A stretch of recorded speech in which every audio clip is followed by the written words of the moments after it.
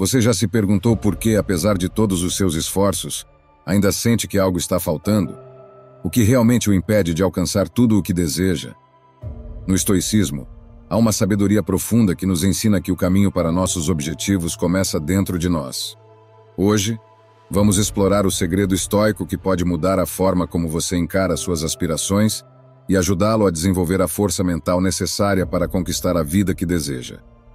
Cada novo dia é uma oportunidade valiosa para fortalecer sua mente e se aproximar dos seus desejos, com serenidade e propósito. Em seguida, vamos refletir sobre nove sinais sutis de que você pode estar perdendo tempo sem perceber. Muitas vezes, sem que nos demos conta, caímos em armadilhas que nos afastam dos nossos verdadeiros objetivos. São comportamentos que pouco a pouco nos desviam do caminho e nos empurram para o oposto do que realmente desejamos conquistar. Identificar esses sinais pode ser a chave para retomar o controle e redirecionar sua energia para o que realmente importa. Agora é o momento de parar e refletir profundamente. A verdadeira transformação começa na mente, e hoje você dará mais um passo em direção a uma vida plena e consciente. Este vídeo foi criado para trazer clareza e despertar em você uma nova forma de enxergar o tempo e as oportunidades que tem em mãos. Alguma vez você já sentiu que, não importa o quanto lute, as coisas simplesmente não mudam, por mais que tente? O mundo ao seu redor continua igual, ignorando seus esforços. E se em vez de lutar contra a corrente, você aprendesse a navegar a partir de seu interior? Imagine viver em um mundo onde tudo o que você deseja se torna realidade um mundo onde seus sonhos não são apenas possibilidades, mas realidades tangíveis ao alcance de sua mão. Parece irreal, não é? Deixe-me dizer que é possível transformar os desafios em degraus rumo aos seus sonhos.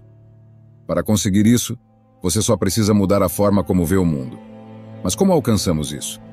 A chave está em uma filosofia antiga que, através de seus ensinamentos, nos guia para uma vida que vale a pena ser vivida: o estoicismo. Neste vídeo, exploraremos uma série de lições e ensinamentos que ressoarão em seu interior, com o objetivo de prepará-lo para conquistar o que antes você considerava impossível, reacendendo esperanças perdidas. Você aprenderá a ver cada obstáculo como um impulso para uma versão melhorada de si mesmo. Vamos começar. Lição 1: A arte da ataraxia. Os antigos estoicos nos ensinaram o significado da ataraxia, um conceito crucial em sua filosofia. A ataraxia se define como um estado de paz interior superior, um refúgio mental onde nos sentimos completamente livres de perturbações emocionais. Os estoicos acreditavam que a verdadeira felicidade não reside nos prazeres materiais nem na aprovação externa, mas em possuir uma mente em paz e tranquila. Marco Aurélio, o imperador romano e filósofo estoico, nos falou do conceito da cidadela interior, uma metáfora que representa uma fortaleza mental que cada um de nós pode construir dentro de si.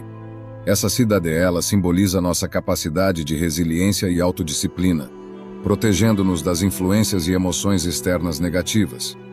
Imagine sua mente como um castelo bem fortificado, imperturbável diante dos ataques externos. A cidadela interior é seu refúgio para manter a calma e a serenidade em qualquer situação. É a muralha que mantém longe o descontrole emocional e que o leva ao estado de paz interior. Esse é o lugar que os estoicos chamavam de ataraxia. A ataraxia implica entender que não podemos controlar todos os eventos da vida, mas podemos controlar nossas reações diante deles. Trata-se de serenidade e de manter-se centrado no que está sob nosso controle, o que nos permite viver de maneira mais calma e deliberada. Nas palavras do filósofo estoico Epicteto, não são as coisas que nos perturbam, mas as nossas opiniões sobre elas. Com essa ideia, o sábio Epicteto resume a própria essência da ataraxia. Nossa paz interior depende mais de como interpretamos as situações do que das situações em si. Mas como podemos cultivar esse estado de paz interior em nossa vida diária? Refleta sobre uma situação cotidiana. Você está em uma reunião com amigos e surge um debate sobre um tema político. Alguém contradiz suas opiniões de maneira frontal e agressiva. Quando você tenta se explicar, é cortado abruptamente e tratado de forma desrespeitosa. Qual você acha que seria sua resposta impulsiva nesse momento? A frustração começa a crescer dentro de você, e você não entende esse comportamento desdenhoso e desrespeitoso. esse é o momento de praticar a ataraxia. Em vez de responder com irritação ou tentar impor seu ponto de vista, faça uma pausa. Respire fundo para acalmar sua mente enquanto se lembra de que só pode controlar sua reação, não as crenças ou comportamentos dos outros. Com calma, exija o respeito que merece, expresse sua opinião de maneira racional e escute ativamente, sem julgar ou interromper os outros. Essa atitude não apenas serena sua mente, mas também evita um conflito desnecessário e o posiciona como alguém respeitoso e reflexivo. Nesta cena cotidiana, vemos a importância da ataraxia, esse estado de paz interior que os estoicos tanto valorizavam. Através dela, enfrentamos as turbulências da vida com uma mente calma e um coração inabalável, transformando cada desafio em uma oportunidade para nosso crescimento pessoal. Lição 2: Pratique o desapego. Os estoicos, através de seus ensinamentos, nos oferecem valiosas reflexões sobre o arte do desapego. Imagine por um momento que você está sentado à beira de um rio, observando as águas fluírem tranquilamente. Você simplesmente observa sem tentar alterar o curso do rio ou o ritmo da correnteza. Esse estado de simples contemplação, sem tentar manipular ou intervir no que acontece, ilustra perfeitamente a essência do desapego. Longe de ser indiferença, o desapego trata de nos libertarmos do jugo de nossas expectativas. Quantas vezes você se encontrou ansioso ou cheio de raiva porque as coisas não aconteceram como esperava? Em quantas ocasiões você se surpreendeu tentando forçar situações cujo desfecho não dependia absolutamente de sua ação? Agora, imagine-se nessas situações sendo capaz de se desvincular emocionalmente do resultado. Sente o alívio? É como tirar um grande peso dos ombros, não é? Ao praticar o desapego, não apenas liberamos nossa mente e coração da tensão desnecessária, mas também nos permitimos viver com mais calma e estabilidade emocional. Os estoicos nos ensinaram que a paz interior vem de aceitar o que não podemos mudar e focar em nossa própria atitude diante dos eventos. Como disse Sêneca, a verdadeira felicidade é desfrutar do presente sem a dependência ansiosa do futuro. Esse enfoque nos ajuda a enfrentar os desafios de uma perspectiva mais calma sem atribuir importância excessiva aos resultados de nossas ações. Ao longo da história moderna, também encontramos referências ao pensamento que reforçam a ideia estoica do desapego. Eckhart Tolle, mestre espiritual e autor do livro O Poder do Agora, defende a importância do desapego e de nos libertarmos das amarras do ego. Tolle nos ensina que, ao focarmos no momento presente e nos desvincularmos das expectativas e preocupações sobre o passado e o futuro, encontramos uma paz profunda e uma clareza mental que nos permitem viver de maneira mais plena. Seu trabalho nos mostra que o desapego não é indiferença, mas uma libertação da necessidade de controlar tudo ao nosso redor. Uma ideia que ressoa profundamente com os ensinamentos estoicos sobre aceitação e serenidade. Então, como podemos praticar o desapego em nosso dia a dia? Imagine que você enfrenta uma situação desafiadora, como uma discussão com um amigo próximo, ou um projeto no trabalho que se complica. Convido você a praticar o desapego nesses momentos. Pergunte-se: o que está sob meu controle nesta situação? Enfoque sua energia nesses aspectos e deixe de lado o restante. Não é fácil, eu sei, mas com prática, essa abordagem pode reduzir significativamente sua ansiedade. Para começar a incorporar o desapego em sua rotina diária, comece com pequenos passos. Uma técnica eficaz é a respiração profunda. Sempre que você se deparar com uma situação indesejada ou um desafio em seus relacionamentos, reserve alguns minutos para fechar os olhos e respirar profundamente. Enquanto recupera a calma através da respiração, aceite cada pensamento e sentimento sem julgá-los. Isso fortalecerá sua capacidade de praticar o desapego e o ajudará a lidar com os desafios com mais calma e clareza. Lembre-se, o desapego não é resignação nem falta de ambição, é a capacidade de aceitar aquilo que não podemos controlar. Ao soltar, liberamos nossa energia para nos concentrarmos no que realmente importa e podemos mudar. O filósofo estoico Epicteto nos ensinou que não são as coisas que nos perturbam, mas nossa interpretação delas. Abrace essa sabedoria estoica e encontre paz e força no desapego. Ao fazer isso, você poderá enfrentar qualquer desafio com uma mente clara e um coração tranquilo. Lição 3. Encontrando beleza na simplicidade. Os estoicos refletiram profundamente sobre a beleza da simplicidade, um conceito que muitas vezes negligenciamos, imersos na velocidade e no estresse da vida moderna. Mas você já se perguntou como simplificar sua vida poderia aliviar o peso da acumulação material e mental? Imagine por um momento que você está sentado em um prado tranquilo, rodeado de flores silvestres. O sol aquece suavemente sua pele e uma leve brisa acaricia seu rosto. Não há telefones tocando nem listas intermináveis de tarefas. Apenas você e a natureza. Uma cena que convida à reflexão sobre a beleza da simplicidade. Nesse instante, você sente uma paz profunda, livre das complicações e do estresse que frequentemente nublam seu dia a dia. Este é um princípio que frequentemente esquecemos. Mas você já considerou a paz que poderia encontrar se simplificasse sua existência? Como disse o filósofo estoico Epicteto, é a percepção do que você precisa e não do que deseja que te liberta. Com essas palavras, Epicteto nos ensina que a verdadeira liberdade e paz interior vem de distinguir entre o que realmente precisamos e o que simplesmente desejamos. Agora vamos refletir juntos sobre quais passos podemos dar para simplificar nossas vidas. Um bom ponto de partida é simplificar nosso espaço físico. Podemos começar organizando e limpando nosso ambiente. Cada objeto que você decidir manter deve passar por um filtro rigoroso. Este objeto melhora minha vida? Realmente me agrega valor? Ao fazer isso, um ambiente desordenado pode se transformar em um espaço de clareza e propósito. Além de ser mais agradável à vista, cada vez que você entrar nesse espaço, sua mente se sentirá mais leve e preparada para focar no que realmente importa.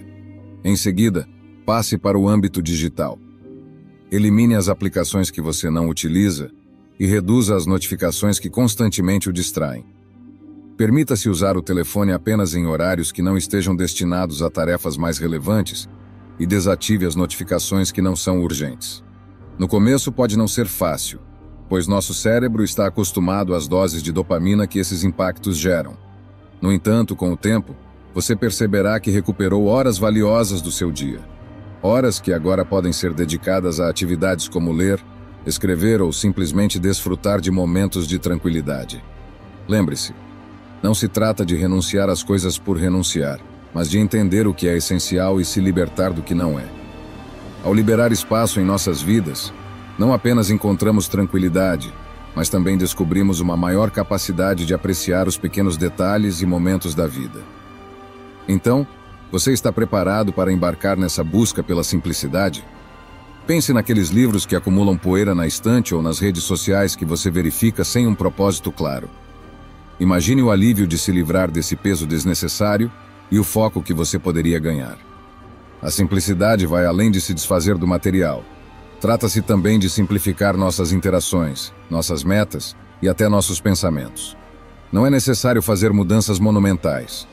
Trata-se de pequenos passos, decisões conscientes que nos aproximam de uma vida menos complicada e mais alinhada com nossos verdadeiros desejos e necessidades. Agora, eu o convido a refletir. Você realmente precisa de tudo o que tem ao seu redor para ser feliz? Se você acredita que a felicidade se encontra nas coisas simples da vida, deixe um comentário dizendo: Eu tenho o suficiente. Lembre-se, não é mais rico quem mais tem, mas quem menos precisa. Lição 4. Viva no presente. Imagine por um momento que você está caminhando por uma floresta tranquila. Ao seu redor, as árvores se erguem majestosas e o chão está coberto de folhas que estalam sob seus pés. Você respira profundamente, sentindo o ar puro e fresco encher seus pulmões. Este instante, tão simples e ordinário, é a essência de viver no presente, de experimentar plenamente a vida como ela se apresenta. Como disse o filósofo estoico Epicteto, só há um caminho para a felicidade, e é deixar de se preocupar com coisas que estão além do poder da nossa vontade. Essa lição tem uma relação estreita com o conceito de atenção plena, que nos convida a estar presentes no aqui e agora, apreciando cada momento e afastando o sofrimento pelo passado e a ansiedade pelo futuro. A atenção plena nos traz uma paz e uma clareza que nos permitem viver de maneira mais plena e consciente. Tenho certeza de que, em algum momento, você já se viu envolto em pensamentos obsessivos sobre situações passadas que já não pode mudar ou sobre eventos futuros que teme que aconteçam. Nossa mente está programada para tentar nos evitar problemas, e não há nada de errado nisso. O problema surge quando a mente começa a prever catástrofes ou a repetir constantemente momentos desafiantes que já não podemos alterar. Mas o que podemos fazer para sair desse ciclo mental tão prejudicial? Como podemos desenvolver a capacidade de focar a mente no agora? Cultivar a atenção plena requer uma mudança consciente em nossa percepção. É um exercício constante, semelhante a fortalecer um músculo que foi negligenciado. Por exemplo, enquanto você lava as mãos em vez de deixar sua mente devagar, concentre-se na sensação da água morna sobre sua pele, no cheiro do sabonete, no som da água fluindo. Essa atenção plena permite que você esteja completamente presente na ação que está realizando, ajudando a romper o ciclo de pensamentos obsessivos e a desfrutar do momento presente. Esse tipo de prática pode ser aplicado a todos os aspectos da vida.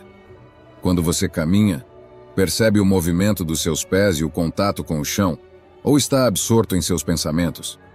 Ao ler um livro, você se envolve em cada palavra e na história, ou sua mente se distrai constantemente.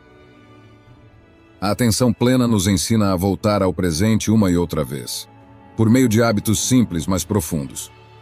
Um exercício prático para desenvolver a atenção plena é a meditação focada na respiração. Sente-se em um lugar tranquilo e confortável. Feche os olhos e concentre-se na sua respiração. Sinta o ar entrando e saindo dos seus pulmões. Note como seu peito e abdômen se elevam e descem com cada inalação e exalação. Se sua mente se desviar, gentilmente traga-a de volta à sua respiração. Esse método não só acalma sua mente, mas também fortalece sua capacidade de permanecer no presente, permitindo-lhe aproveitar mais plenamente cada momento. O filósofo estoico Sêneca disse uma vez: O destino conduz aqueles que o aceitam e arrasta os que resistem. Com esta citação, Sêneca nos ensina que a felicidade só se encontra no presente, não no arrependimento pelo que poderia ter sido, nem na ansiedade pelo que será. Lembre-se, apenas estando completamente presentes aqui e agora somos capazes de desfrutar a vida, encontrando satisfação em cada momento, aconteça o que acontecer. Lição 5. Transforma o medo em coragem. Alguma vez você já se encontrou em uma situação extrema, onde todas as opções parecem levá-lo à beira de um precipício? Todos já estivemos lá, enfrentando nossas maiores sombras e nossos medos mais profundos. É nesses momentos que devemos decidir se vamos recuar ou dar um salto de fé rumo ao desconhecido. Esse salto pode parecer aterrorizante, mas também é uma poderosa oportunidade para crescer e nos superarmos. Ao enfrentar nossos desafios com coragem, não apenas sobrevivemos, mas nos transformamos, descobrindo forças que nunca soubemos que tínhamos e abrindo portas para experiências que nunca imaginamos possíveis. Nas palavras do sábio filósofo estoico Epicteto, Somente quando enfrentamos nossos medos, descobrimos as verdadeiras reservas de força que residem em nosso interior. Quando ousamos enfrentar nossos maiores temores, nos abrimos para um crescimento pessoal que só é possível ao cruzar essa barreira de incerteza. Dessa forma, o medo, mais do que uma limitação, se transforma na melhor arma para nos superarmos. Atravessar o medo nos mostra nossa resistência e potencial, nos impulsionando além de nossas zonas de conforto rumo a novas alturas. Cada vez que enfrentamos um medo com coragem, não apenas o superamos, mas também expandimos as fronteiras do que acreditamos ser possível. Esta é a verdadeira magia do crescimento pessoal. Transformar o que uma vez foi um obstáculo em um trampolim para o sucesso e a autorrealização. Agora, eu o convido a refletir sobre seus medos mais profundos. Você tem medo de fracassar em um novo empreendimento? Tem medo de ser julgado pelos outros ao expressar suas verdadeiras opiniões? Cada um de nós tem seus próprios medos. É parte de nossa condição humana. Pense que cada medo é uma porta para uma compreensão mais profunda de suas capacidades e um desenvolvimento significativo de sua personalidade. Ao enfrentá-los, você não está apenas superando obstáculos, mas também descobrindo novas paixões e forças. O que aconteceria se o seu maior medo se tornasse realidade? Você seria incapaz de se recuperar? Talvez, em sua mente, seja o único lugar onde esse medo é tão catastrófico. Ao refletir profundamente sobre o que teme, muitas vezes você descobrirá que os desfechos temidos são muito menos prováveis e graves do que inicialmente imaginava. Preparar-se para enfrentar até os cenários mais desafiadores é uma prática estoica que nos dá a coragem necessária para agir, apesar do medo. Em vez de se deixar paralisar, use o medo como um impulso para avançar. Este processo pode não ser fácil nem rápido, mas os frutos que você colherá serão incrivelmente gratificantes. Um exemplo inspirador de alguém que enfrentou seus medos e transformou sua vida é o da influente escritora J.K. Rowling. Antes de se tornar uma das escritoras mais reconhecidas, Rowling enfrentou a pobreza, a rejeição de inúmeras editoras e o medo do fracasso. No entanto, sua determinação e sua capacidade de canalizar seus temores para a escrita não só a ajudaram a superar esses desafios, mas também deram vida a um dos universos literários mais aclamados por gerações de leitores. Sua história nos lembra que, às vezes, os medos que enfrentamos podem nos levar a realizar nossas maiores contribuições para o mundo. Então pergunto novamente: você continuará permitindo que seus medos se interponham no caminho de suas metas ou os utilizará como combustível para sua coragem? Se esta última for a sua resposta, deixe um comentário dizendo: Eu escolho a coragem. Lição 6: Navegando entre o desejo e a moderação. Reflita por um momento sobre o seguinte: Você já se sentiu preso entre a tentação de seguir um desejo ardente e a necessidade de manter um equilíbrio saudável e racional? Não são esses momentos de encruzilhada alguns dos mais difíceis de lidar para a mente humana? Não se trata de suprimir completamente nossos desejos mas de não sucumbir a eles e nos tornarmos escravos de nossos impulsos. Como disse o filósofo estoico Sêneca, a natureza nos deu todas as necessidades do corpo em abundância e sem dificuldade. Os estoicos nos sugerem que, diante de tentações desmedidas, paremos por um momento, olhemos para dentro e analisemos de onde vem esse desejo. Faça perguntas como: Eu realmente preciso disso? É algo que melhorará minha vida de uma forma profunda ou estou caindo na armadilha do desejo superficial? Ao fazer essas reflexões, nos distanciamos do impulso e nos conectamos com nossos verdadeiros valores, permitindo-nos tomar uma decisão mais alinhada com quem somos e o que realmente precisamos. Como dizia Sêneca, não é o homem que tem pouco, mas o que deseja mais, que é pobre. A moderação nos ensina a desfrutar de cada momento e a valorizar o que temos em vez de lamentar o que nos falta. À medida que você pratica a moderação nas diferentes facetas de sua vida, começará a experimentar uma maior liberdade e plenitude.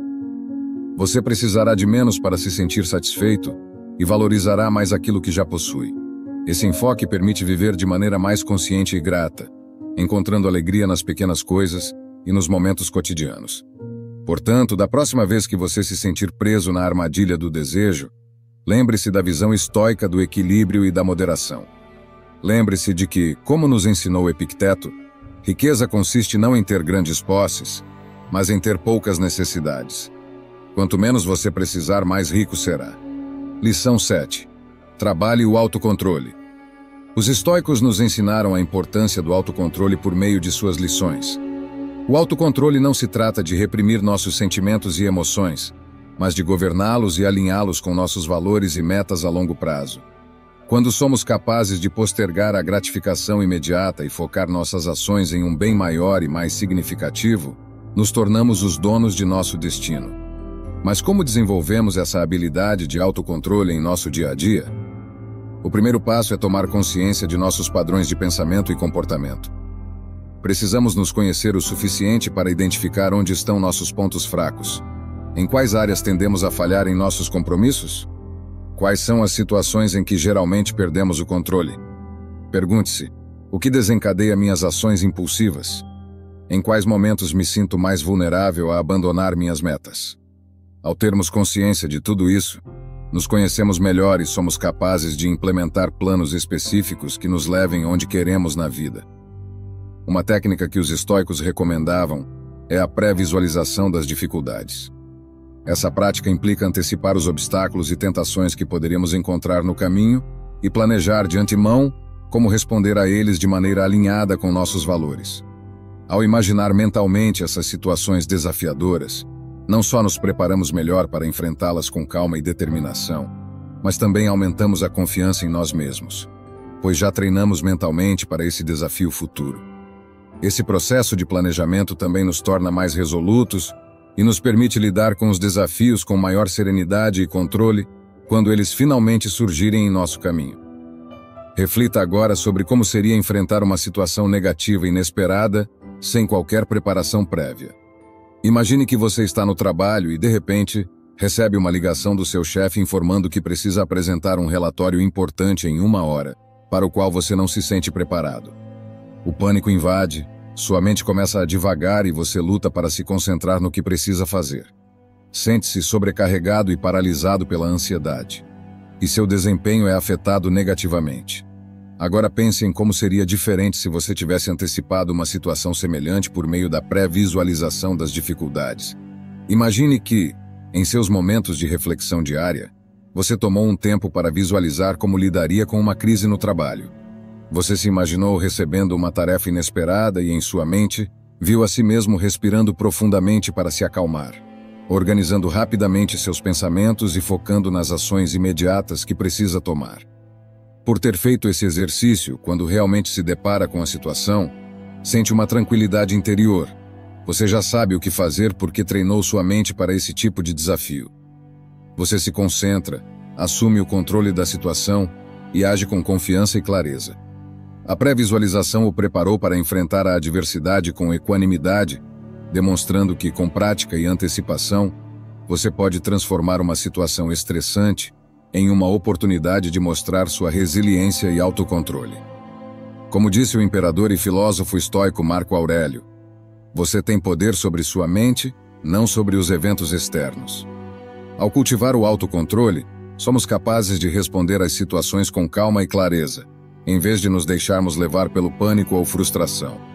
Nos tornamos protagonistas ativos de nossa história, capazes de navegar pelos desafios com resiliência e determinação. Lição 8. A importância da empatia.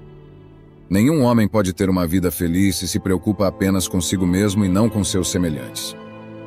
Com esta citação, o filósofo estoico Sêneca nos lembra da importância da empatia e da conexão humana. Ele nos ensina que a verdadeira felicidade não se encontra na satisfação egoísta, mas no cuidado e na consideração pelos outros, sublinhando que nosso bem-estar individual está profundamente ligado ao bem-estar coletivo. Os estoicos acreditavam que, ao nos colocarmos no lugar dos outros, não apenas enriquecemos nossas próprias vidas, mas também contribuímos para o tecido social que nos sustenta e nos dá sentido. A empatia, essa habilidade de entender e compartilhar os sentimentos dos outros, não só nos une às pessoas, mas também nos leva a viver de maneira mais harmoniosa e justa. Pense em algum momento em que você agiu de maneira genuína, focando-se no bem-estar de outra pessoa Talvez tenha sido o dia em que ajudou um amigo a completar um projeto pessoal, deixando suas próprias tarefas de lado e dedicando-se completamente a apoiar essa pessoa. O que você sentiu? Não foi uma sensação maravilhosa saber que seu esforço aliviou o caminho de alguém? Ou talvez tenha sido quando você ofereceu uma palavra de consolo a alguém que passava por um momento difícil, sentindo como suas palavras trouxeram alívio e calma ao coração dessa pessoa. Essa é a magia da empatia o poder transformador da conexão humana. Todo o amor que você dá se multiplica e volta para você. Proponha um exercício para o seu dia a dia. Desenvolva a empatia em cada oportunidade que surgir. Não é necessário realizar grandes obras. Simplesmente tente melhorar o dia de alguém com um pequeno gesto.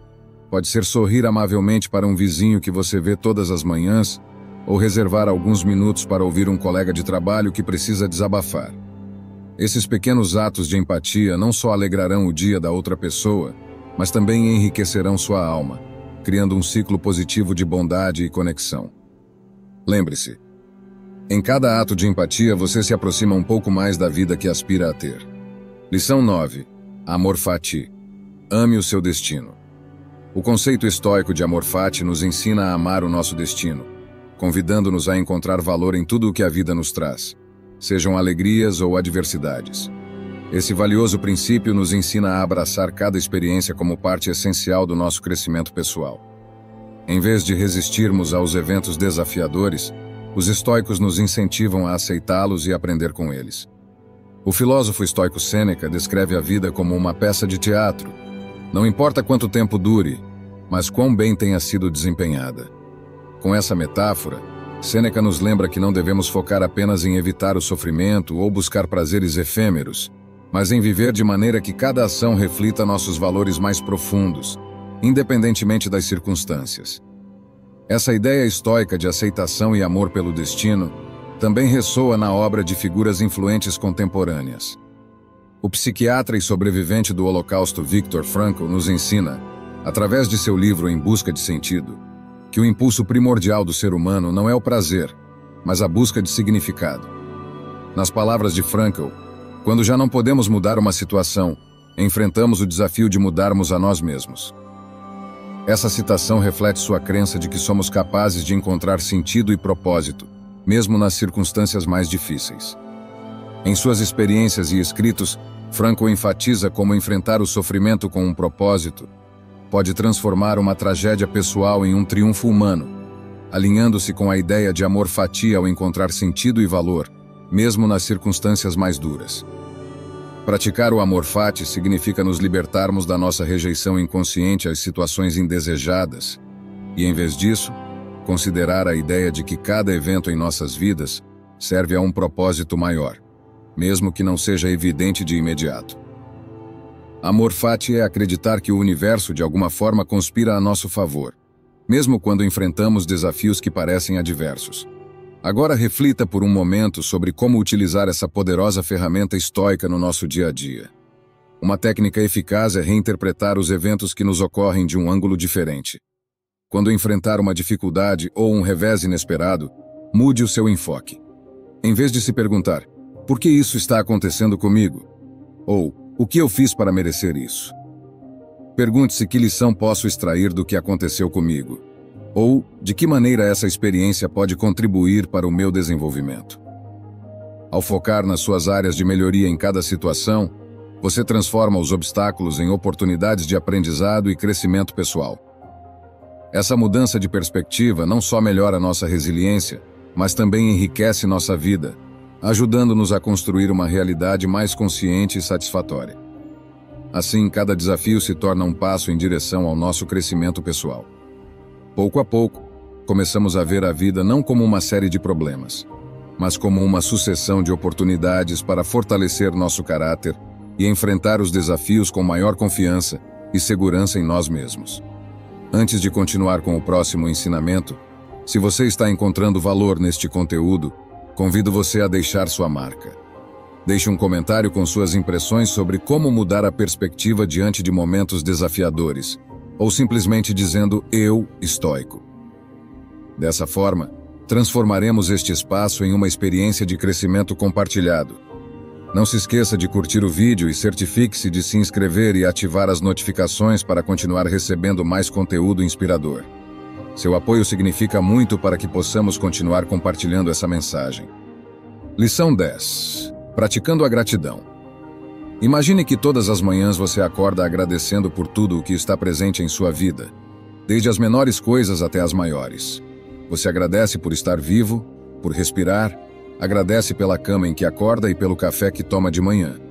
Não se trata de um agradecimento superficial pelos bens que você acumula, ou pelo sucesso que alcança em sua carreira ou em seus relacionamentos.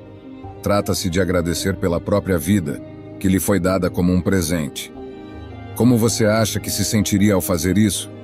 Ao trocar o desânimo de ter que acordar cedo pelo agradecimento de poder se levantar a cada dia, essa prática transforma sua perspectiva preenchendo seus dias de satisfação e alegria, independentemente das circunstâncias externas. O filósofo estoico Epicteto expressou isso da seguinte forma: Não é o que você tem, mas como você aproveita o que tem que faz a diferença. Eu convido você a se atrever a praticar a gratidão no seu dia a dia. Comece com pequenos momentos, agradecendo pelos detalhes que antes passavam despercebidos. Por exemplo, a maciez dos lençóis que o cobrem todas as noites ou o som dos pássaros ao amanhecer. Você verá que, à medida que pratica a gratidão, descobrirá satisfação em coisas que antes você dava como garantidas, como a risada de uma criança no parque ou a sensação da brisa fresca em um dia quente. Esses pequenos momentos, quando apreciados, conectam você à beleza do presente. Além disso, a gratidão não só melhora a nossa vida, mas também contagia os outros. Ao nos verem sorrindo e agradecendo por coisas mundanas, aqueles ao nosso redor acabarão por valorizar o que antes passava despercebido. Essa é a magia da gratidão. Ela transforma não apenas a nossa perspectiva, mas também a daqueles que nos cercam, criando um ambiente de apreciação e positividade que enriquece a vida de todos. Para cultivar a gratidão, podemos implementar várias estratégias simples no dia a dia.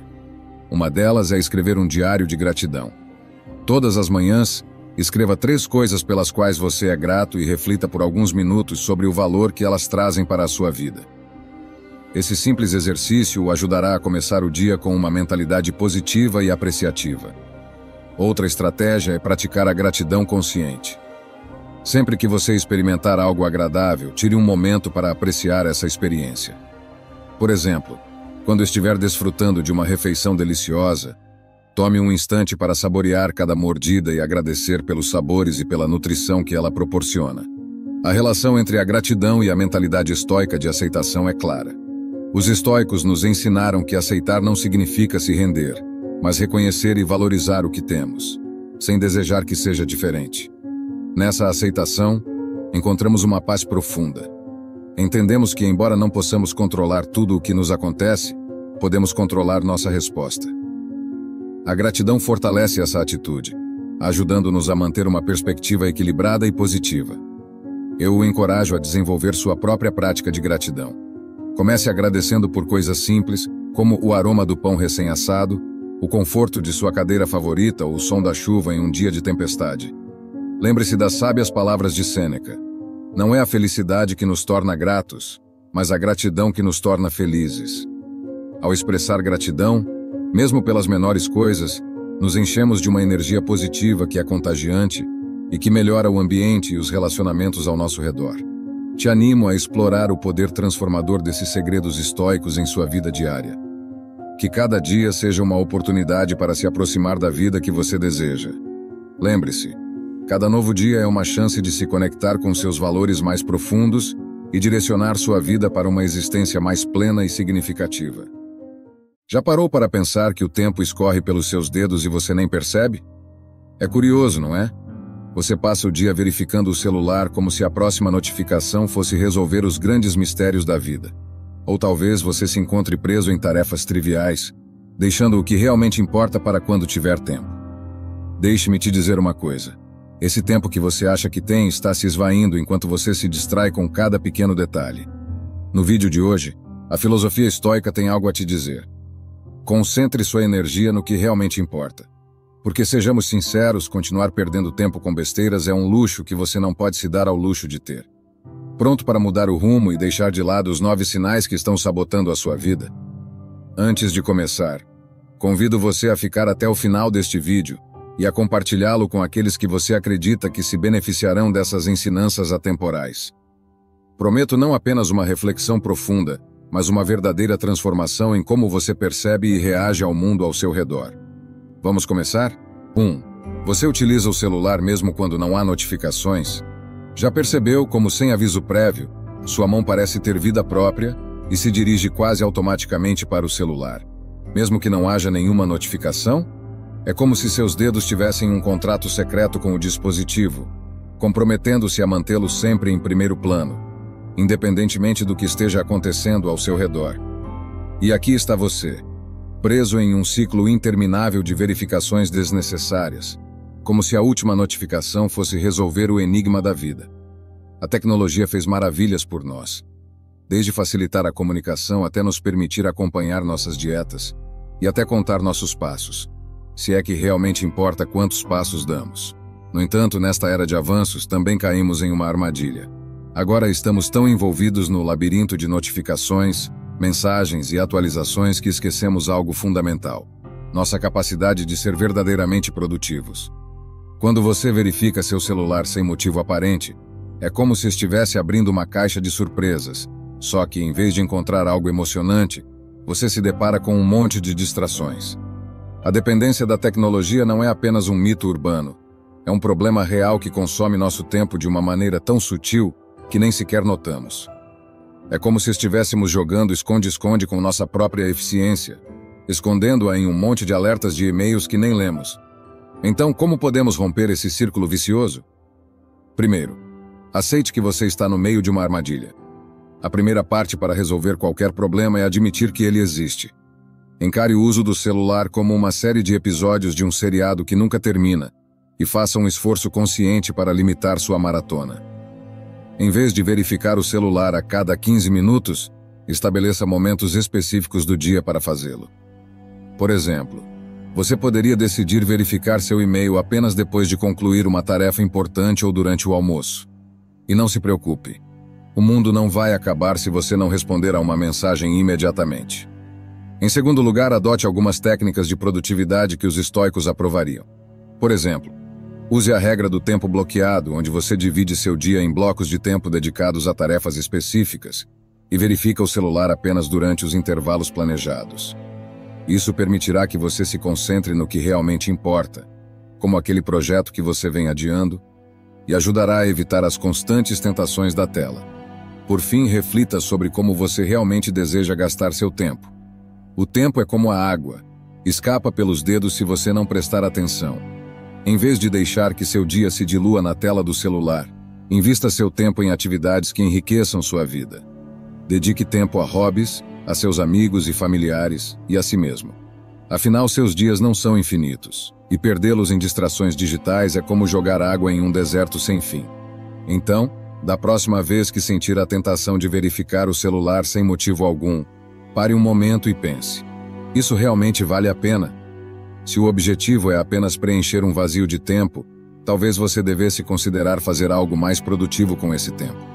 Talvez seja a hora de fazer um pacto consigo mesmo para priorizar o que realmente importa e deixar as distrações para aqueles momentos em que realmente não há nada melhor para fazer. Como bem dizia Brian Tracy, os momentos perdidos em distrações nunca se recuperam, mas a sabedoria de tê-los usado melhor permanece com você para sempre. 2. Você não prioriza suas tarefas? Quantas vezes você deixou aquelas tarefas cruciais para o final do dia, pensando que teria tempo mais tarde, e como era de se esperar, o tempo nunca chega. Em vez disso, você se vê preso em uma voragem de e-mails, mensagens e mini-tarefas que, honestamente, poderiam ter esperado. Se isso soa familiar, é possível que você esteja preso em um ciclo de procrastinação disfarçada de produtividade. O problema aqui não é que você não queira fazer as coisas importantes. É que você se acostumou a dar mais peso ao que é trivial. Por que isso acontece? Talvez você pense que, ao completar as tarefas pequenas primeiro, terá a mente mais livre para lidar com o que é realmente relevante. Mas, na realidade, você está apenas adiando o inevitável enquanto se entretém com um jogo de auto-engano. Essa estratégia é como tentar encher um copo com grãos de areia antes de adicionar água. No final, nunca haverá espaço suficiente para o que realmente importa. Para sair dessa armadilha, primeiro você precisa reconhecer que o tempo é seu recurso mais valioso. Imagine que seu dia é um copo vazio e cada tarefa é um líquido que você precisa despejar nele. Se você começar com o que é urgente e essencial, terá espaço adequado para adicionar as tarefas menores. Mas se primeiro encher o copo com atividades triviais, o espaço para o que é realmente importante se reduz a nada. Aqui é onde entra a filosofia estoica. Os estoicos ensinam que devemos focar nossa energia no que podemos controlar e deixar de lado o que está fora do nosso alcance. Aplicando isso à sua rotina, significa que você deve se concentrar nas tarefas que realmente têm um impacto significativo na sua vida ou trabalho, em vez de perder tempo com detalhes menores. Faça uma lista de suas prioridades e enfrente primeiro o que é mais importante. Pense na sua lista de tarefas como um cardápio de restaurante. Se você decidir comer a sobremesa primeiro, estará se privando dos pratos principais, que são os que realmente satisfazem e nutrem. Em vez de se sentir saciado depois da sobremesa, você se encontrará insatisfeito e com fome. Certifique-se de completar o essencial antes de se distrair com os pequenos prazeres, que no fundo não são mais do que meras distrações. Para implementar essa estratégia, comece planejando seu dia na noite anterior. Dedique alguns minutos para identificar as três tarefas mais importantes que precisa completar no dia seguinte e então, aborde-as sem desculpas. Só depois de ter terminado o essencial, dedique tempo às tarefas secundárias. Você não só estará mais focado, como também se sentirá mais realizado ao final do dia. Deixar o importante para depois é uma maneira certa de desperdiçar tempo e energia. Seguindo uma estrutura baseada em prioridades e aplicando princípios da filosofia estoica, você poderá gerenciar seu tempo de maneira mais eficaz e desfrutar de uma sensação genuína de realização. Portanto, da próxima vez que sentir a tentação de adiar o crucial pelo trivial, lembre-se: o copo não se encherá só com areia. Como dizia Carl Jung, a verdadeira sabedoria está em fazer primeiro o que realmente importa, deixando o trivial para depois. 3. Seu tempo de lazer ocupa a maior parte do seu tempo? Alguma vez você olhou para o relógio enquanto mergulhava na maratona da última série da moda e se perguntou se o tempo se tornou uma piada cruel? É curioso como o nosso tempo de entretenimento, que teoricamente deveria ser um espaço para relaxar, acaba ocupando a maior parte do dia. É como se sua vida tivesse decidido se transformar em uma série da Netflix e você fosse o protagonista que nunca se questiona se a trama realmente vale a pena. Vamos ser claros. Todos precisamos de uma dose de distração para desconectar das responsabilidades diárias. Afinal, ninguém quer ser um robô que se levanta, trabalha e vai dormir sem um pouco de diversão. Mas há um pequeno detalhe. Esse entretenimento pode se tornar uma armadilha sutil que rouba seu tempo sem que você perceba. É como aquele amigo que sempre aparece nas suas festas sem ser convidado, mas que nunca vai embora quando já é hora de ir. Imagine que seu dia é como um jardim, e cada atividade que você escolhe é uma planta que decide semear. Se você passa a maior parte do dia plantando ervas daninhas, como redes sociais e séries intermináveis, o que acaba colhendo é um jardim descuidado e cheio de plantas que não trazem nada de positivo. Em vez de um jardim florescente de realizações e crescimento pessoal, você acaba com um terreno baldio de arrependimento. Então, como evitar que seu tempo se dissipe no nada? A resposta está em uma organização eficiente e em um enfoque mais consciente. Você pode começar planejando seu dia com intenção, estabelecendo blocos de tempo para suas atividades de entretenimento, mas garantindo que elas não dominem toda a sua jornada.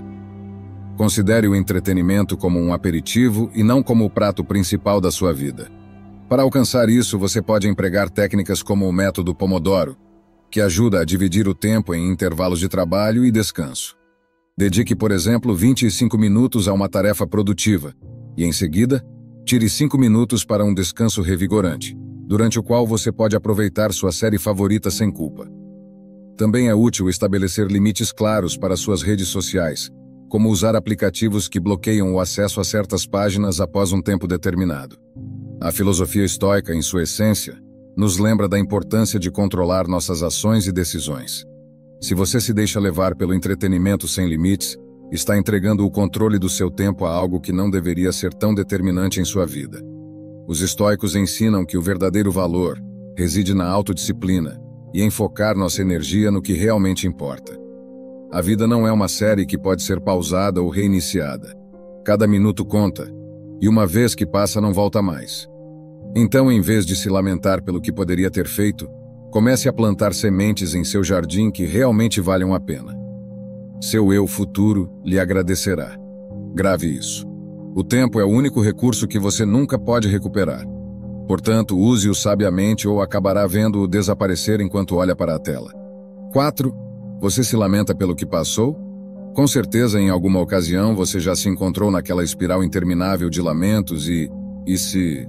Às vezes parece que gostamos de perder tempo relembrando o passado, como se isso pudesse mudar algo. É curioso como nos agarramos a esses momentos, como se cada vez que voltamos a eles, tivéssemos a possibilidade de consertar tudo, apenas repassando-os mais uma vez na cabeça. Mas a verdade é que não há nada como uma boa dose de filosofia estoica para nos fazer perceber o que realmente estamos fazendo. Nada. Vamos fazer uma pequena viagem pela arte de não perder tempo se lamentando. Imagine que você está em uma maratona e, em vez de correr em direção à linha de chegada, decide parar a cada poucos metros para verificar como colocou os sapatos. Cada minuto que você passa verificando os cadarços te afasta um pouco mais da linha de chegada. Isso é exatamente o que você faz quando se lamenta pelo passado. Você não está avançando, apenas se detendo para contemplar o calçado que já não pode mudar.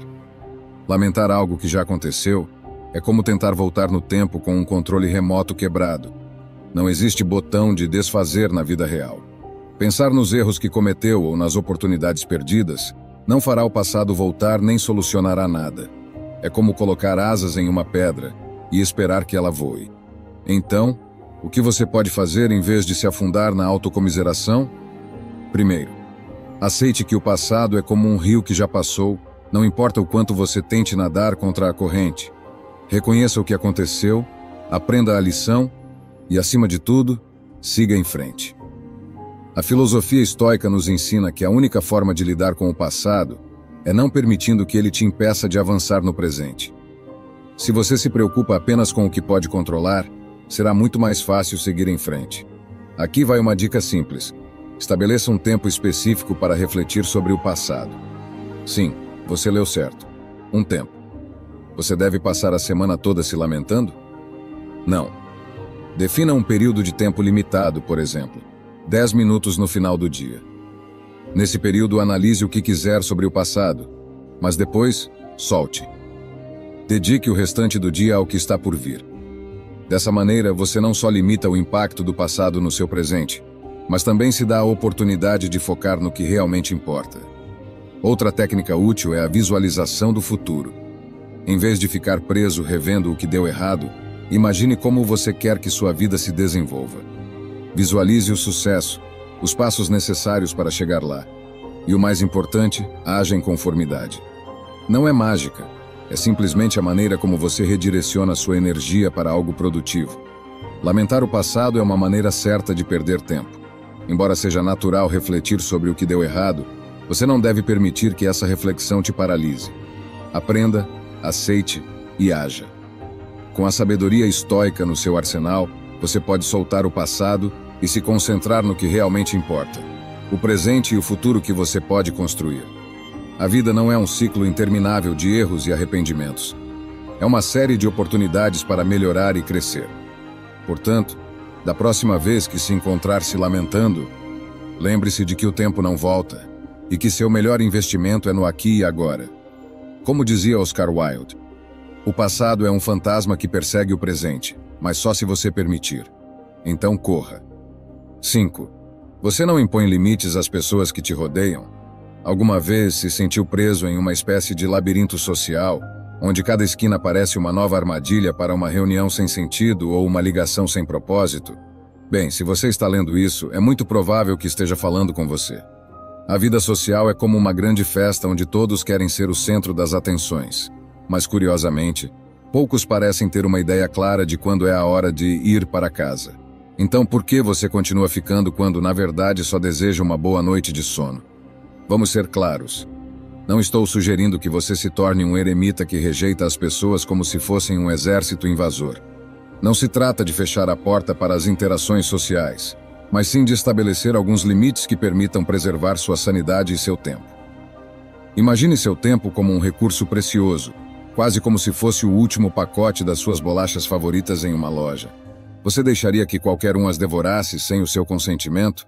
Claro que não. Então, por que permite que seu tempo se esvaia sem controle? O primeiro passo é reconhecer que cada interação social tem um custo. Não me entenda mal, não estou dizendo que as relações sejam uma espécie de transação econômica, mas é verdade que cada minuto gasto em uma conversa trivial ou em uma reunião desnecessária é um minuto que poderia ter sido investido em algo que realmente te beneficia ou inspira. Pense nas reuniões intermináveis como um buffet de comida rápida. Elas enchem seu estômago, mas não trazem muito valor à sua vida. Então, como você pode estabelecer limites sem parecer rude? Aqui vai uma estratégia que pode funcionar. A filosofia estoica nos ensina que não podemos controlar o que acontece ao nosso redor, mas podemos controlar como reagimos a isso. Em vez de dizer sim a tudo só por cortesia, aprenda a avaliar o verdadeiro valor de cada interação. Pergunte-se se aquela ligação ou reunião realmente contribui para o seu bem-estar ou se é apenas uma distração bem intencionada. Um exemplo prático. Se alguém te convida para uma reunião que você sabe que será apenas fofoca ou conversas triviais, pense no que poderia fazer nesse tempo. Poderia usá-lo para trabalhar em um projeto pessoal, passar tempo com entes queridos ou simplesmente relaxar. Se a resposta for sim, não tenha medo de dizer não. O não não é uma palavra suja é uma ferramenta para preservar seu tempo e sua paz mental. Impor limites nas interações sociais não é uma questão de egoísmo, mas de ser consciente de como você gerencia seu tempo e energia. Você não precisa estar disponível para todos e para tudo. E isso está perfeitamente bem. No final do dia, seu bem-estar deve ser sua prioridade para que você possa, de fato, inspirar e ajudar os outros de uma maneira mais genuína. Como disse Brian Tracy, a sabedoria está em saber quando dizer não para abrir espaço para o que realmente importa. Descubra como controlar suas emoções e desbloquear seu verdadeiro potencial com nosso opúsculo estoico. Acesse artestoica.com.br ou clique no link do comentário fixado para obter agora mesmo. 6. Você coloca soluções temporárias? Quando enfrentamos um problema, muitas vezes somos tentados a usar uma solução rápida e temporária, como colocar um curativo em uma ferida que na verdade precisa de pontos. Claro, é mais fácil dizer, vou resolver isso depois, e seguir com a vida. Mas acontece que esse depois muitas vezes nunca chega, e o problema não só permanece, mas cresce, como um balão que se infla a cada minuto que passa. Imagine que sua vida é um jardim. Você decide ignorar aquela pequena erva daninha que aparece em um canto, pensando que não é grande coisa. Mas de repente, percebe que a erva daninha se transformou em uma planta invasiva que está sufocando suas flores. Soa familiar? Isso é exatamente o que acontece quando optamos por soluções temporárias. Procrastinação é o nome elegante dessa técnica de colocar um remendo em vez de resolver o problema pela raiz. A vida, em sua infinita sabedoria, não faz concessões com nossa procrastinação. Na verdade, parece até gostar de nos mostrar o quão ridícula é nossa estratégia, à medida que os problemas se tornam mais complexos e difíceis de manejar. Pense naqueles momentos em que você adiou uma tarefa importante, apenas para se deparar com uma montanha de trabalho acumulado que poderia ter sido facilmente gerenciado se você tivesse agido a tempo. O tempo é um recurso caprichoso. Parece que escorregamos por ele sem perceber quanto já perdemos. E não, não é magia. É apenas o preço de não enfrentar os problemas no momento certo. Como evitar cair na armadilha das soluções temporárias? Primeiro, trata-se de ser honesto consigo mesmo. Se algo precisa de atenção, dê a prioridade que merece, em vez de remendar o problema com uma solução rápida. Por que não abordá-lo de uma maneira mais duradoura?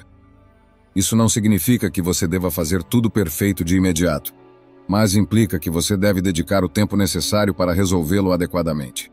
A filosofia estoica nos ensina que enfrentar a adversidade com determinação e clareza é a chave para uma vida mais equilibrada e com menos conflitos adiados. Também é útil estabelecer um plano claro e prático para seus problemas. Não se trata de realizar um grande esforço de uma só vez, mas de dar passos consistentes e bem pensados em direção a uma solução real. A famosa frase, um problema bem formulado é um problema meio resolvido, se aplica aqui. Se você se depara com uma ofensa de alguém, por exemplo, não a ignore. Aborde a situação de maneira madura e direta. Se você deixar as coisas para amanhã, o problema só vai crescer e se tornar mais complicado, como uma bola de neve que se transforma em avalanche. Em suma, o tempo não é um recurso que se pode recuperar facilmente. Então, da próxima vez que você se deparar com um problema, lembre-se de que uma solução temporária é apenas uma maneira elegante de ignorar a realidade. Enfrentar seus problemas de maneira oportuna e eficaz não só é mais saudável, mas também permite que você viva com menos estresse e mais paz mental. Portanto, em vez de cobrir seus problemas com um curativo e esperar que eles magicamente desapareçam, Trate de abordá-los com o mesmo foco que você daria a um desafio importante.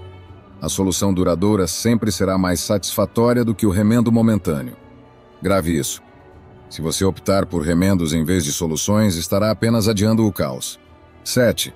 Você não se concentra no que deve? Já percebeu quanto tempo escapa pelos seus dedos enquanto tenta fazer de tudo um pouco, mas acaba não fazendo nada realmente bem? Se sua resposta é um tímido sim, Bem-vindo ao clube dos que se distraem com a facilidade de uma criança em uma loja de doces. Mas não se preocupe, vamos descobrir por que você perde tempo sem perceber. E mais importante, como pode parar de fazer isso. Primeiro, vamos nos situar. Imagine que você está no meio de uma corrida de revezamento. O corredor que carrega o bastão deve se concentrar em passá-lo para o próximo, sem tropeçar, sem perder o ritmo e, sobretudo, sem se distrair com a torcida nas arquibancadas. Mas você, na sua própria corrida diária, costuma fazer exatamente o contrário. Tropeça, Olha para o público e se pergunta se aquele hambúrguer que te tentou ontem ainda está disponível. A conclusão? Você está correndo, mas não está avançando. Então, o que está te mantendo preso? O primeiro inimigo a vencer é a multitarefa. Essa ilusão moderna vendida como a solução para a produtividade. Claro, fazer muitas coisas ao mesmo tempo parece ser a última moda, mas na verdade é mais como tentar tocar piano enquanto anda de bicicleta. Talvez você consiga fazer as duas coisas, mas provavelmente não fará nenhuma delas muito bem. A filosofia estoica nos ensina que, para alcançar nossas metas, devemos nos concentrar no que está em nossas mãos e fazê-lo com dedicação. Isso se traduz em priorizar e fazer uma coisa bem antes de passar para a próxima. Agora, vamos falar sobre as distrações. Ah, as gloriosas distrações. São como aqueles pequenos biscoitos que te oferecem enquanto espera na sala de espera. Te entretêm por um momento, mas não te satisfazem. Cada notificação no seu celular, cada aba aberta no navegador, cada fofoca no escritório são como pequenas doses de veneno que diluem sua capacidade de concentração. Se você realmente quer fazer algo bem, precisa eliminar essas distrações. Aqui entra a técnica das três tarefas. Ela consiste em identificar três tarefas prioritárias para o dia e se dedicar a elas com toda a sua energia e atenção. Se você tem clareza sobre o que é mais importante, pode enfrentar cada tarefa uma de cada vez, evitando a tentação de pular de uma para outra. É como ter um mapa no meio da selva. Se você sabe para onde vai, é menos provável que se perca no caminho. Para implementar essa técnica, no começo do dia escreva suas três principais tarefas. Depois, dedique um bloco de tempo para cada uma trabalhando sem interrupções até completá-la. Você pode usar uma ferramenta simples como um cronômetro para se manter no caminho certo e evitar distrações. É como se cada tarefa fosse uma etapa de uma corrida. Concentre-se em cruzar a linha de chegada antes de passar para a próxima. O tempo é um recurso que, ao contrário do dinheiro, não pode ser recuperado uma vez que se foi. Se continuar se dispersando e caindo na armadilha da multitarefa e das distrações, estará desperdiçando seu tempo em troca de nada. Em vez disso, concentre-se em uma coisa de cada vez e faça bem feito. Aprenda com os estoicos, que nos ensinam que a verdadeira sabedoria está no controle de nossas ações e pensamentos. Lembre-se, não é que você não tenha tempo, é que não está usando o tempo que tem da maneira mais eficaz. Deixe de ser o rei da distração e se torne o mestre da concentração. Como diz um sábio provérbio estoico, o tempo se gasta em distrações, mas se investe na concentração. 8. Você tem uma desorganização constante? Se alguma vez se encontrou em meio a uma pilha de papéis, procurando desesperadamente por aquele documento vital que deve estar em algum lugar, bem-vindo ao clube. A desorganização é esse monstro que rouba seu tempo sem que você perceba, escondido sob a aparência de uma vida ocupada. É como estar em um labirinto sem mapa, com uma ampulheta avançando rapidamente. A desorganização não é apenas um pequeno problema que pode ser resolvido num piscar de olhos. Não. Isso é como um incêndio em uma floresta seca. Se espalha, consome tudo ao seu redor, e antes que perceba, você está preso em um turbilhão de caos. Você tem dificuldade em encontrar aqueles documentos importantes, aqueles materiais que deveriam estar à mão, e o pior de tudo, acaba perdendo tempo valioso. É um pouco como tentar encontrar uma agulha no palheiro, enquanto o palheiro está em chamas. Imagine por um momento que você está em uma busca épica Precisa daquele relatório crucial que deixou em algum lugar e embarca em uma odisseia para encontrá-lo. O que deveria ser uma busca rápida se transforma em uma expedição interminável, porque seus papéis estão em qualquer lugar, menos onde deveriam estar. A desorganização é um inimigo que faz você sentir que o tempo não só se esvai, mas desaparece em um buraco negro. Então, como lutar contra esse vilão? A resposta pode ser mais simples do que você imagina. Organização. Não, não estou sugerindo que você se torne um monge budista que medita em um mosteiro impecavelmente organizado, mas sim que comece a tomar pequenas medidas para transformar seu caos em ordem. Primeiro, dê um lar para cada coisa. Cada documento, cada material deve ter seu próprio lugar. É como dar um nome às suas coisas. Se você sabe onde elas moram, será mais fácil encontrá-las. Você pode usar pastas, caixas ou qualquer sistema que funcione para você. Isso não significa que seu escritório precise parecer um showroom da IKEA. mas que você só precisa de um sistema que te ajude a encontrar o que busca sem precisar fazer uma escavação arqueológica. Em segundo lugar, dedique tempo à organização. Não espere que o caos se torne um monstro descontrolado para começar a se organizar. Dedique alguns minutos todos os dias para colocar as coisas em ordem. Pense nisso como alimentar um animal de estimação. Se você fizer isso regularmente, ele não ficará maluco nem te causará problemas. Por fim, reflita sobre a filosofia estoica. A ideia de que não podemos controlar tudo o que acontece, mas podemos controlar como reagimos a isso. A desorganização é um exemplo perfeito de como nossa reação pode determinar o impacto. Em vez de se frustrar com a falta de ordem, use o tempo perdido para criar um sistema que funcione a longo prazo. A desorganização não é apenas um inconveniente menor. É uma forma sutil de desperdiçar seu tempo. Mas não se preocupe. Você pode combater esse inimigo com medidas simples e eficazes. Dê um lar a cada coisa.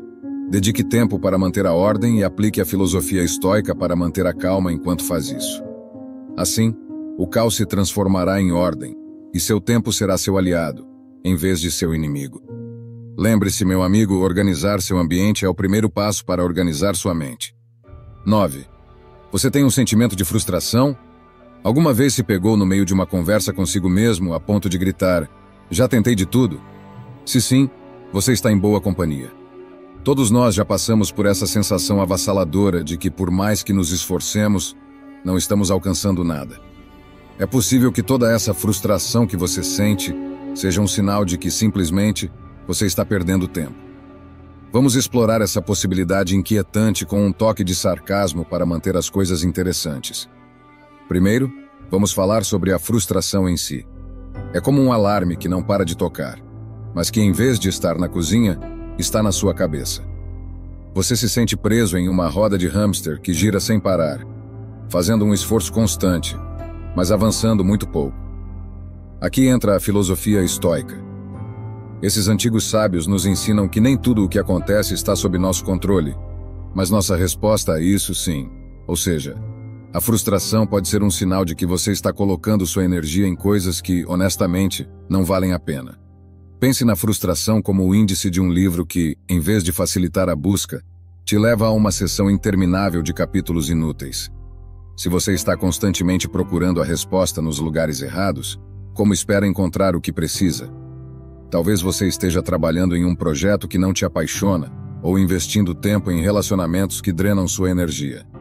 Em vez de resolver problemas, você simplesmente acumula mais deles. E agora? O que você pode fazer a respeito? Primeiro, faça uma pausa e faça um inventário do seu tempo. Você está dedicando horas a atividades que realmente te aproximam dos seus objetivos? Ou está preso em tarefas que só consomem sua energia sem oferecer nenhum retorno? É como tentar encher um balde cheio de furos. A filosofia estoica sugere que você foque seus esforços no que pode controlar e, de alguma forma, aceite o que não pode mudar. Aqui vai um truque simples para reorganizar sua vida: a técnica do princípio de Pareto, ou a regra do 80-20. Identifique os 20% das suas atividades que proporcionam 80% dos seus resultados. Pergunte-se: que ações ou decisões estão realmente impulsionando seu sucesso? Talvez você perceba que passa mais tempo em tarefas que não trazem nada de significativo. Ao se concentrar nas atividades mais impactantes, você pode reduzir a sensação de frustração e começar a ver resultados mais tangíveis. Mas é claro, o verdadeiro mudança exige ação e uma dose saudável de honestidade. Não existe uma solução mágica que faça a frustração desaparecer de um dia para o outro. No entanto, ser consciente de como e onde você está investindo seu tempo é um grande primeiro passo. Reconhecer que talvez tenha desperdiçado tempo em atividades pouco produtivas permitirá que você direcione sua energia para o que realmente importa. A frustração pode ser uma mensagem disfarçada de desespero. Em vez de se deixar levar pelo ciclo de autocrítica, Use esse sinal para reavaliar seu enfoque. A vida não é uma corrida de obstáculos sem fim. É mais como um caminho no qual você pode escolher as rotas mais eficientes para alcançar suas metas. Então, da próxima vez que se sentir frustrado, lembre-se de que a solução pode ser tão simples quanto mudar sua direção, não seu destino. Como bem disse Mário Alonso Puig, a frustração é o sinal de que você está perdendo tempo em um caminho errado, não a confirmação de que você não tem talento. Espero sinceramente que esta mensagem tenha sido útil. Quero parabenizá-lo sinceramente por ter chegado até aqui e ter concluído o vídeo. Isso significa que você deseja melhorar como pessoa. Se gostou do vídeo, deixe seu comentário. Se não sabe o que comentar, comente gratidão, assim saberei que assistiu até o final. Se ainda não está inscrito no canal, o que está esperando? Inscreva-se agora e junte-se a nós. O estoicismo está cheio de ensinamentos como este, que são aplicáveis à nossa vida cotidiana. Portanto, encorajo você a continuar aprendendo sobre essa filosofia. Deixo aqui dois vídeos repletos de sabedoria estoica para que você continue aprendendo. Até a próxima!